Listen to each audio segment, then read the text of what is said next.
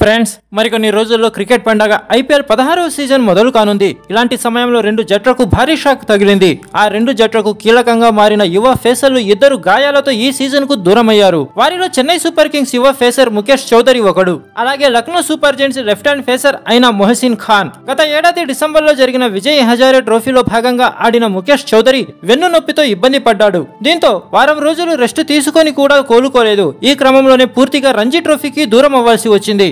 ఆ విధమైన పరిస్థితి చెన్నై సూపర్ కింగ్స్కి దూరం అయ్యే అవకాశం ఉంది. దీని గురించి చెన్నై సూపర్ కింగ్స్ యాజమాన్యం స్పందిస్తూ ముఖేష్ చౌదరి కోసం మేము ఎదురు చూస్తున్నాం. ఈ ఏడాది అతను ఆడకపోతే మా దురదృష్టకరమని భావిస్తున్నాం. ముఖేష్ చౌదరి గత ఏడాది చెన్నై సూపర్ కింగ్స్ తరపున పదమూడు మ్యాచ్లు ఆడి పదహారు వికెట్లు సాధించాడు. గత ఏడాది దీపక్ చహర్ లేని లోటుని ముఖేష్ చౌదరి తీర్చాడు.